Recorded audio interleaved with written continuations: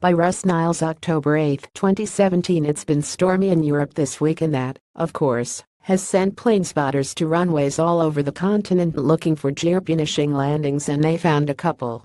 The bounce on this 747 landing at Schiphol in Amsterdam is cringeworthy while the A380 arrival at Frankfurt reminds us the wind demands respect, no matter how big and powerful the airframe. There but for the grace. By Paul Bertorelli October 8, 2017 Or what kind of route do you take me for more thank you, readers, the picture entries keep getting better, and we really like the light and subject matter of Joe Dory's cell phone snap of Robbie Schieffelin landing on a harvested bean field in Washington state. Just beautiful, Joe.